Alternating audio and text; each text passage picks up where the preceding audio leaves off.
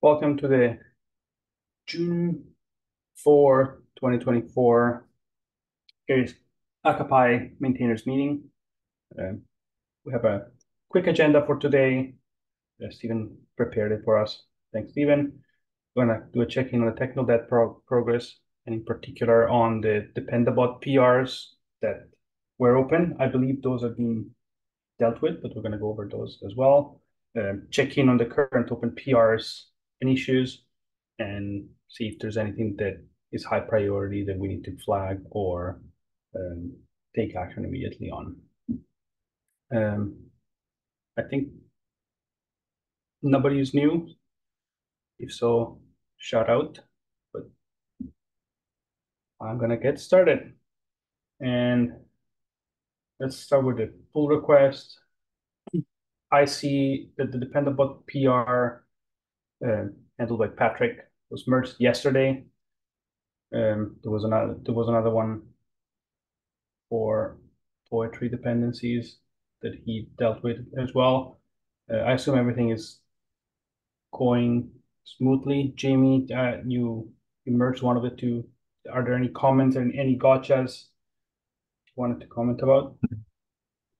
Not really. I merged a whole bunch of stuff on uh, on Fridays. Well, um, one thing was for the demo, there was one library that did a major upgrade, and I don't know why, but I just told Dependabot to ignore that one. But um, no, it went pretty smooth in this repo. We'll see how many pop up all the time now. So, but I, you mean that Dependabot should not be flagging us with major major upgrades right now, right? Yeah, it was um, just one library, and I have no idea why it was okay. just flagged that one. but add breaking changes with yeah. Okay, that sounds good. Let's move on to the open PRs and just like do a quick scan through what we have here. This is yours. You're adding the Sonar Cloud badges to the main README. I think it's fairly no, yeah. okay. Oh, Stephen approved it. Okay, so this is probably going to merge as soon as the tests and the checks are going to go by. It's going to be nice. Thanks for doing that work. Uh, going to have, as everybody can see, Jamie's been working on executing the um, Sonar Cloud on every PR. We now get a summary inside the yeah. PR. This one doesn't yeah. have any code, so that's why that coverage is yeah. still but yeah, yeah. the for maintainers just going into the sonar cloud and uh looking around is good and um when you have new PRs now it's it's really helpful for reviewing code and stuff as well so I don't know how many people here are going to do stuff like that but if you go to the C analysis details when a PR with code oh, is okay. yeah, you can see all types of stuff on the code quality and helps you find stuff. Yeah, and there's like so also the, like a changing coverage, right? That's how we started this whole this whole Yeah, so this one doesn't thing. have coverage, but if you went to a different pull request, let's try. There'd be um, Yeah, that one might not either because it's a library. Oh, it's just a dependency. Yeah. Just go to the second one, the draft PR, or this one was. This one has stuff too. So this, this looks like it might be a big. Yeah, so this one has 100% code coverage because it was just changing a few lines. But then, um, mm-hmm. if you go into the code tab at the top,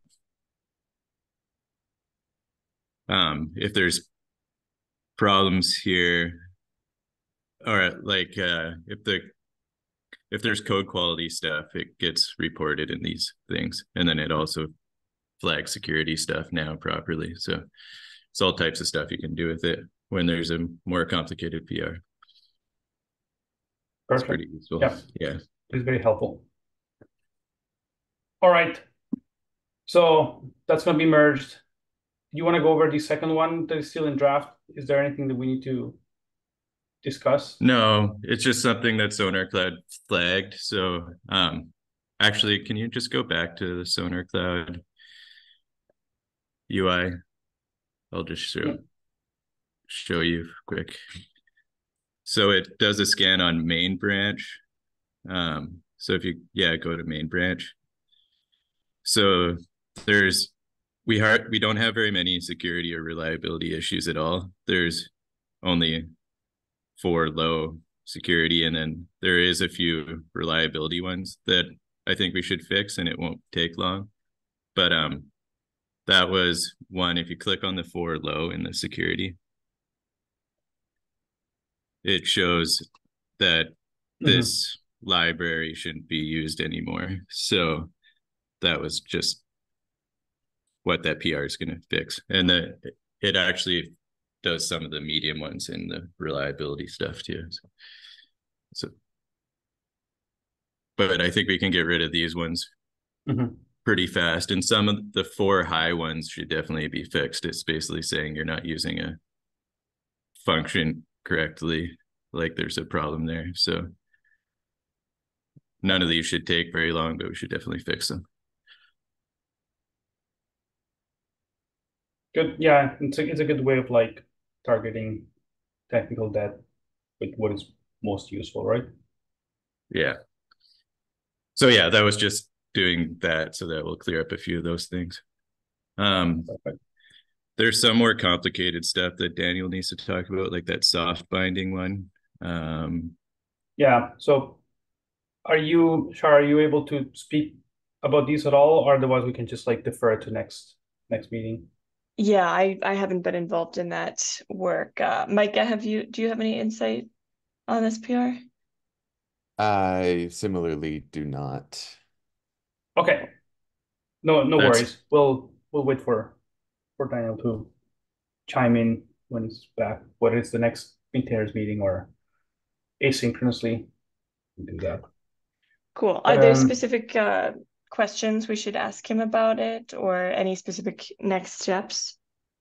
No, was mostly just like checking checking the status of the PR, uh, okay. trying to figure out where we're at with the work, what what we're expecting, and then see if we're going to be merging it anytime soon. Okay, sounds good. Yeah, he's doing some stuff for like flexibility, um, and he knows the injection, the dependency injection stuff better than anyone, I think. So mm-hmm. he has some way to make it so uh, it's more flexible with plugins and stuff. But he described that there's a couple different ways that he could do this, and he's kind of looking for input if he's doing it right. But okay. But anyway, cool. it can just sit there for now. I'll look at it closer too. Sounds good. Thanks there's for the context. There's um, a few other PRs are are by Patrick and are open in draft mode, so maybe we're just gonna. Yeah, I don't them. think any of these are too important. There's the DIDComm V2 that's going to be like an experimental feature. Mm-hmm. I think we do want to try to get this one in, Merge? but it yeah. it's kind of lacking a lot of testing. But I think because it's an experimental feature, we might go ahead with it anyway and add. The unit testing in general is hard to pick up, so we don't want to like make them figure it all out and test it well before because it might just sit there for a really long time. So that's something we have to make a decision on. I think it's pretty close to being able to merge it. Have you had a chance to to look at the changes that uh, Morris is putting in for the pagination? I feel like these would be fairly helpful to have implemented. He seems to think that things are going fairly well. I haven't looked at it, but it's still kind of work in progress. But I think okay. Yeah, that would or, be a good one. Yeah. Yeah. And then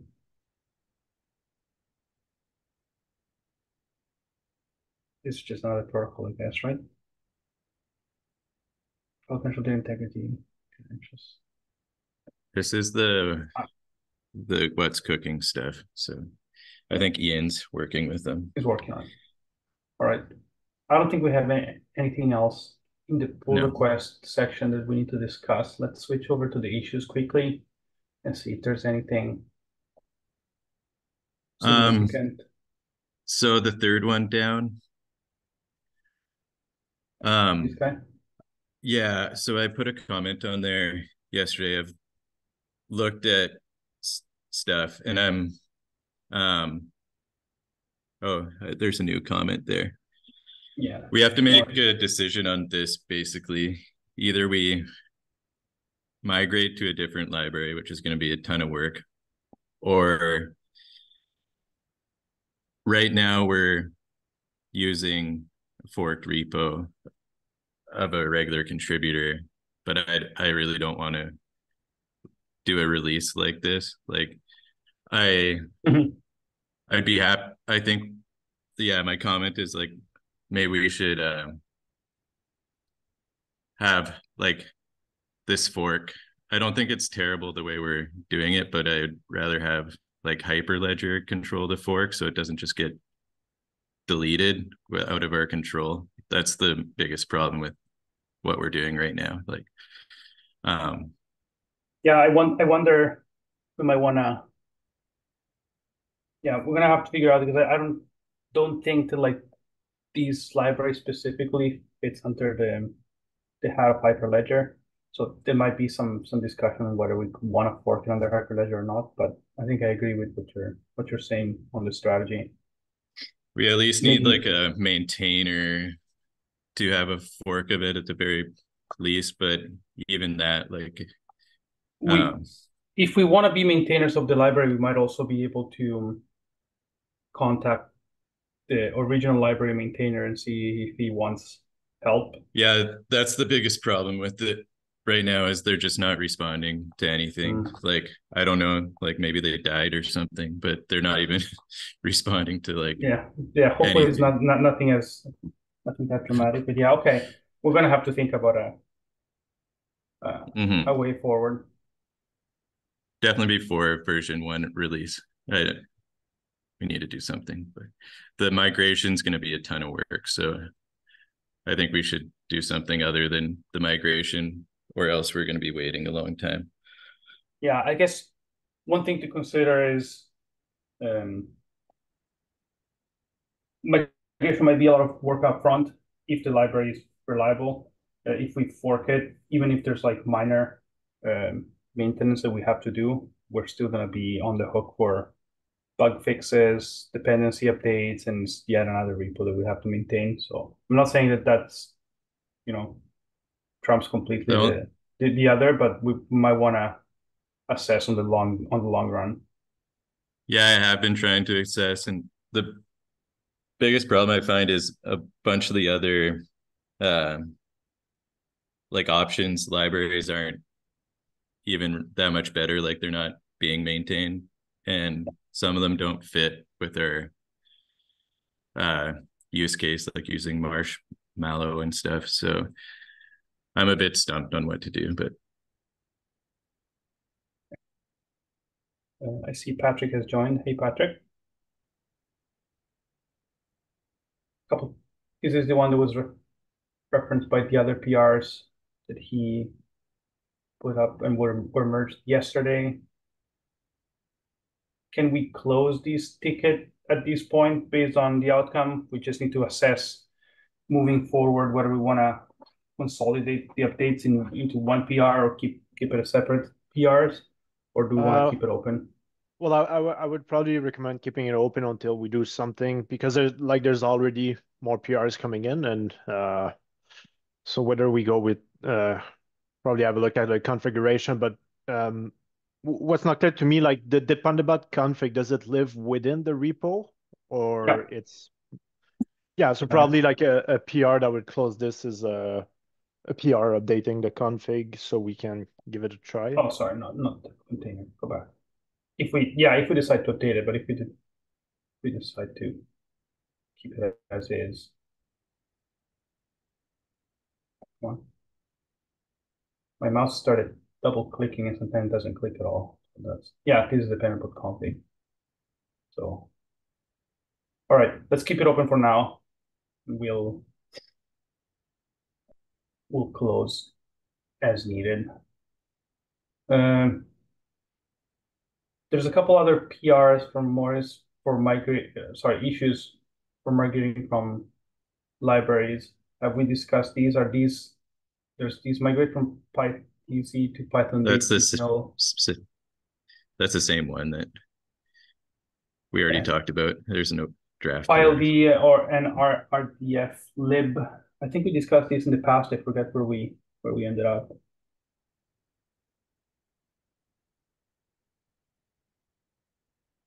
Oh, there's a comment just recent. Okay, so we're still assessing whether it's uh, it's the actual solution or not. Okay. Um, Sorry. Are there any issues that you know need to be addressed before 1.0 that haven't been flagged as 1.0 yet?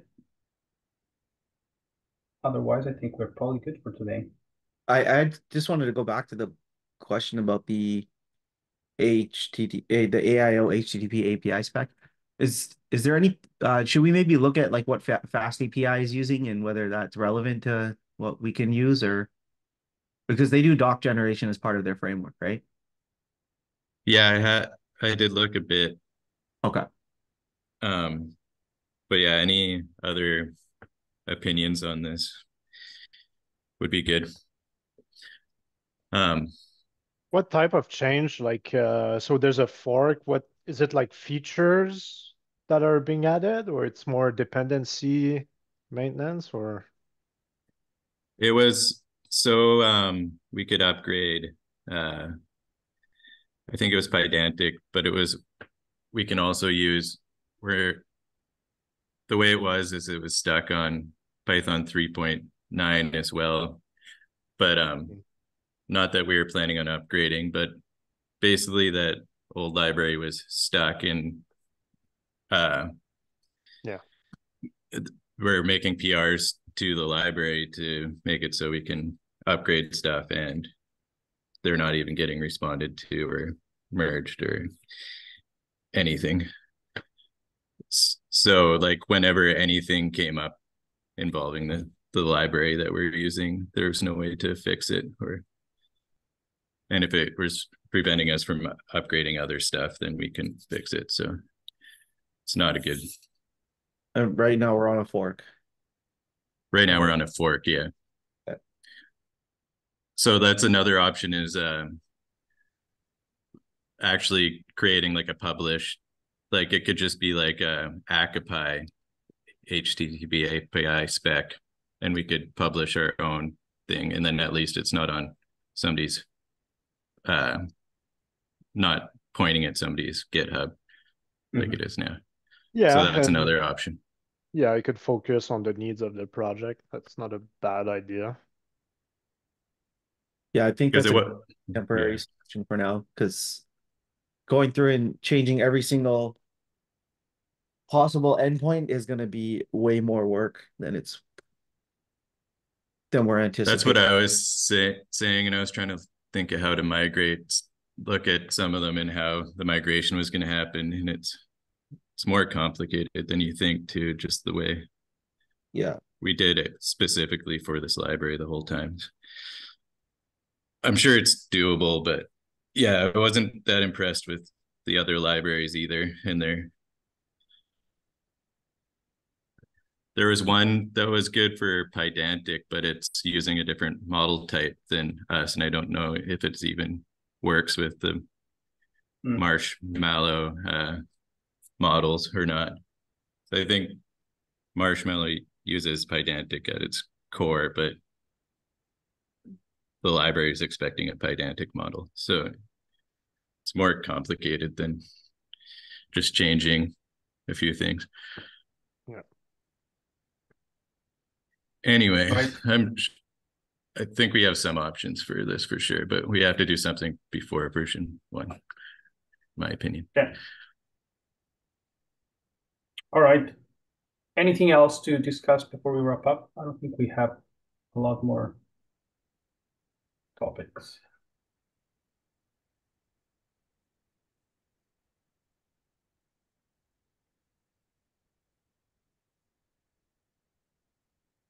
take this silence as an agreement that we're we're done. Okay. Stop sharing and stop the recording. Sounds good.